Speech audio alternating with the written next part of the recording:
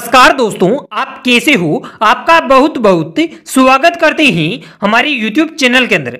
दोस्ती, हम हमेशा से ही पिन कोड नंबर से जुड़ी जानकारी आपके लिए लेकर आते रहते हैं। और आज हम इस वीडियो में जानेंगे कि बांदा का पिन कोड नंबर क्या है, या फिर कह सकते हैं कि बांदा का पिन कोड कितना होता है, इसके बारे में आपको बड़ी ही अच्छी जानकारी देने वाली।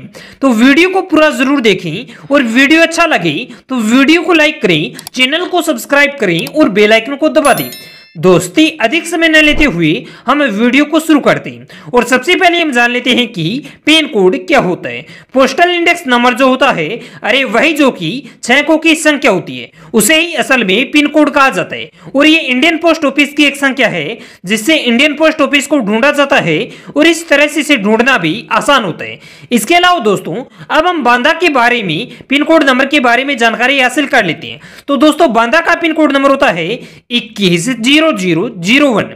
यानी इक्कीस ज़ीरो ज़ीरो ज़ीरो वन जो नंबर होता है, वह बांदा का पिन कोड नंबर होता है, जिसे अंग्रेज़ी भाषा में twenty one zero zero zero one जो नंबर होता है, वह बांदा का पिन कोड नंबर होता है। इसके अलावा दोस्तों, अब हम बांदा के बारे में संक्षिप्त जानकारी भी हासिल कर लेते हैं।